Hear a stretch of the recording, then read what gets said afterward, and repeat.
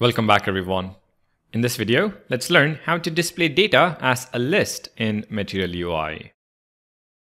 Let's begin by creating a new file in the components folder, muilist.tsx. Within the file, I'm going to create a new component. I'm also going to import the box component and use it instead of the div tag.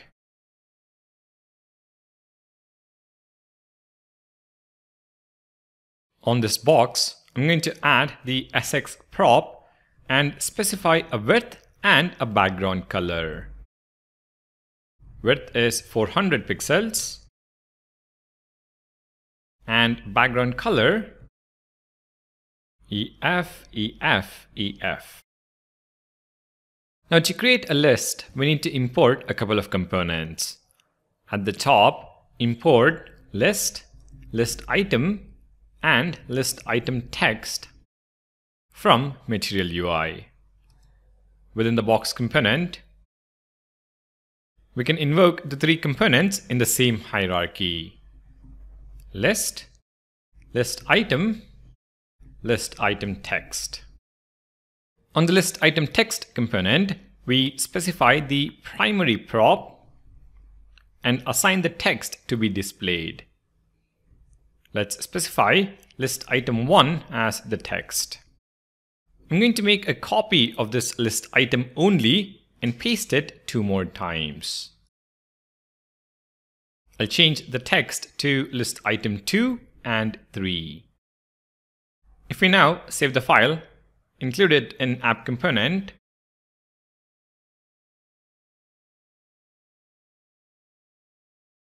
and head to the browser, we should be able to see the list being displayed.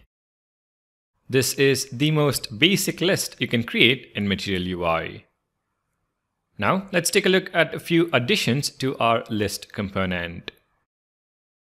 First, we have the list item icon component, which can be used to add an icon to the list item.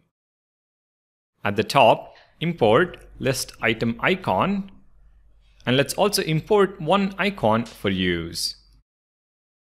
So import mail icon from Material UI. Now within each list item, we can specify list item icon, mail icon. Take a look at the browser. And we have a fancy list of items with icon and text. To customize this list further, we can add an avatar instead of just the icon. At the top, import list item avatar and avatar components. Now wrap the mail icon with avatar and wrap avatar with list item avatar.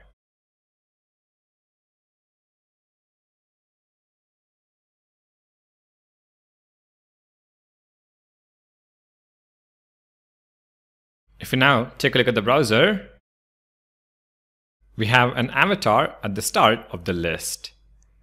Of course, the avatar can contain initials or even images like we have seen before.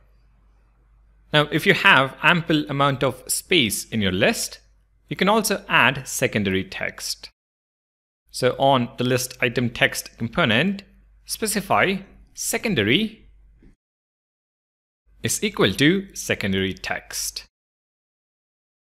Same on list item 2 and 3. Take a look at the browser and we can see the secondary text being displayed below the primary text. For our next customization, let's turn the first list item into a clickable button. For that, import the list item button component and nest it inside list item.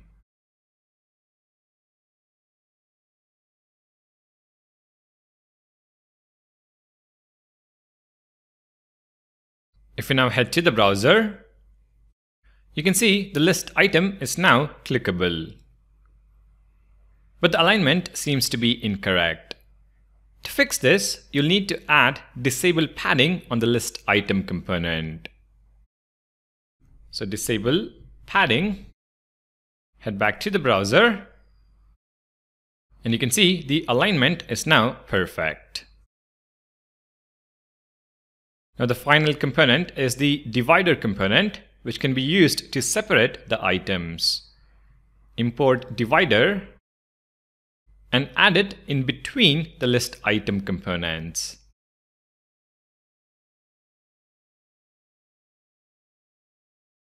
Take a look at the browser and you can see the separation between the list items. So these are all the components you need to build a list with Material UI. Of course, the content inside each list item is up to your imagination. They can contain checkboxes, switches, and many other components.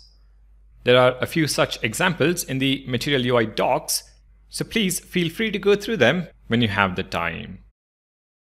What you have learned in this video would have set you up to understand the different examples. Alright, thank you for watching and I'll see you in the next video.